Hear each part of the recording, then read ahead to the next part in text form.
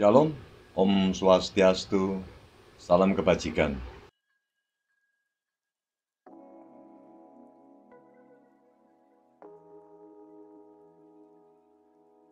Membahas mengenai Sri Mulyani, saudara. Kita tahu bahwa kemarin Sri Mulyani diundang oleh Mahkamah Konstitusi untuk memberikan keterangan dari apa yang dia tahu sebagai seorang eh, apa namanya bendahara pemerintah Republik Indonesia, Sri Mulyani sebagai Menteri Keuangan dia harus memberikan keterangan yang diminta oleh eh, Hakim Mahkamah Konstitusi. Dan sekarang kita ingin eh, sedikit membedah ya mengenai apa yang ditanyakan oleh eh, Mahkamah Hakim Konstitusi dan apa yang akan diberikan oleh Sri Mulyani.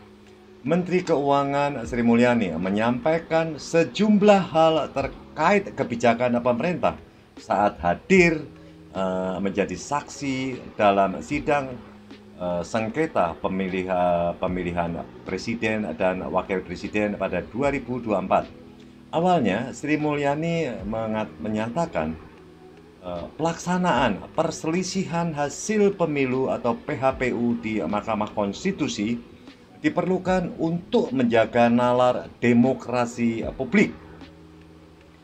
Forum di Mahkamah Konstitusi kami percayai e, menjadi salah satu cara merawat nalar publik dengan menjelaskan dan mendiskusikan bagaimana APBN menjadi sarana gotong royong anak bangsa untuk e, berkontribusi lebih besar dan tidak mampu atau yang dibilang adalah yang tidak mampu perlu dibantu saudara.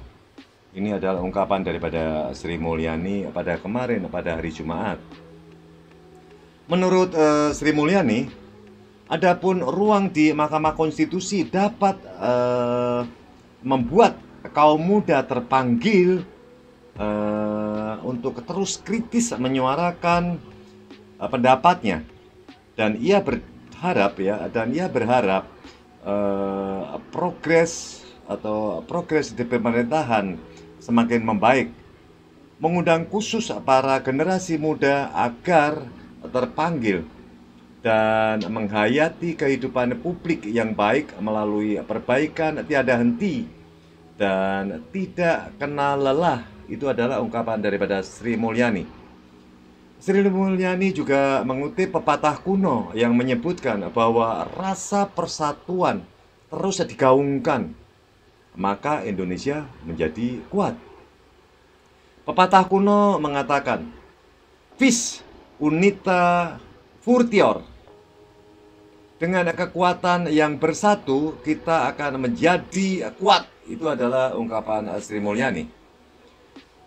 Setelah itu, Sri Mulyani Sri Mulyani kemudian mulai menjelaskan terkait penyusunan anggaran pendapatan dan belanja negara atau APBN 2024. Menurutnya, APBN 2024 tidak terpengaruh oleh siapa pun pasangan calon presiden dan calon wakil presiden yang maju dalam pemilu Capres Cawapres 2024. Penyusunan APBN uh, dan penetapan saudara. Dan penetapan menjadi undang-undang tidak dipengaruhi uh, oleh siapa-siapa yang akan maju menjadi pasangan calon presiden dan calon wakil presiden. Itu kata Sri Mulyani saudara.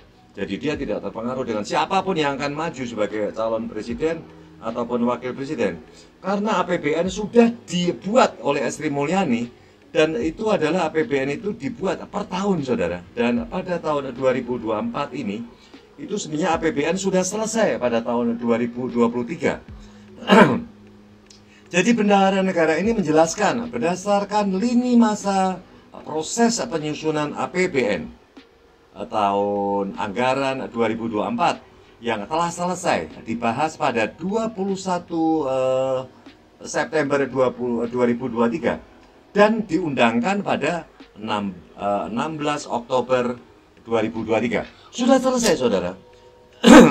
Karena ini sudah dibahas uh, pada bulan September sampai diresahkan pada bulan Oktober, saudara. Jadi ini sudah dibahas oleh Sri Mulyani. Maka apabila disangkut pautkan dengan proses terhadap pemilu presiden 2024 yang dilakukan KPU, waktu penetapan undang-undang anggaran pendapatan negara 2024 telah selesai bahkan eh, sebelum waktu penetapan pasangan calon presiden dan calon wakil presiden pada 13 November 2023. Itu sudah beres, saudara. Kalau waktu itu kita uh, bahwa pemilihan diadakan pada 14 Februari 2024. Pembahasan APBN itu sudah diselesaikan oleh Sri Mulyani yaitu adalah pada uh, bulan November. Jadi jauh sebelumnya, saudara, jauh sebelumnya. Sri Mulyani mengatakan penyusunan dan pembahasan bersama DPR. Kita lihat waktu itu saudara ya, kita lihat waktu itu Sri Mulyani juga membahas dengan anggota DPR itu. Dan yang dibahas itu adalah mengenai anggaran pendapatan negara untuk tahun 2023, bukan 2024. Dan itu dibahas di uh, depan anggota DPR. Dan waktu itu luar biasa, Sri Mulyani juga mengungkap secara detail. Jadi Sri Mulyani itu menyebut banyak negara-negara di, di dunia yang mengalami krisis ekonomi, krisis sosial, ya kan, hingga politik, lantaran mereka tidak mampu mengelola APBN dengan baik.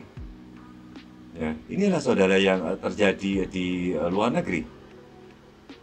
Jadi Sri Mulyani tidak menyebut negara-negara di dunia yang mengalami krisis ekonomi sosial.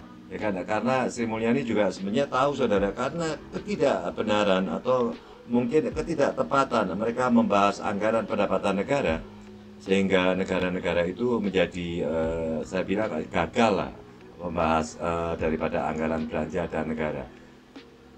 Kendati banyak negara yang kolaps, ya kan? Sri Mulyani sangat bersyukur karena Indonesia masih mampu menjaga APBN dengan sehat.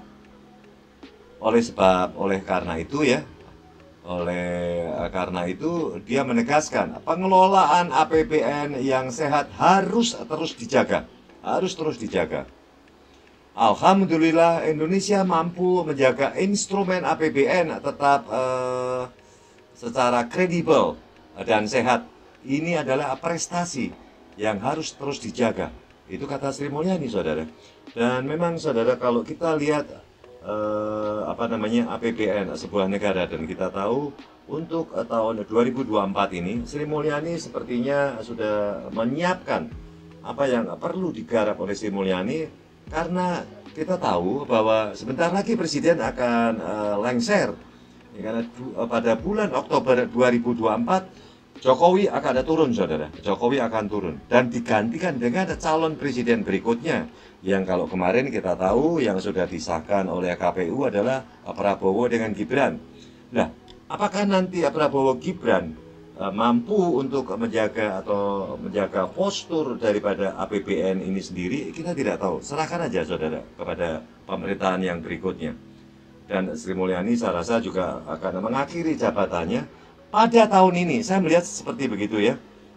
Jadi Sri Mulyani hanya sepertinya uh, ingin memberikan tempat kepada Prabowo dengan Gibran untuk mengatur APBN sendiri karena Sri Mulyani hanya bisa mengantar eh, pemerintahan daripada Joko Widodo itu hanya sampai bulan Oktober 2024 ya kita semoga saja saudara pemerintahan yang baru Prabowo Gibran itu bisa menjaga APBN supaya tetap stabil lima tahun ke depan ya kan itu harapan daripada kita Terima kasih buat saudara-saudara saya yang uh, setia dengan apa namanya yang saya ungkap ini.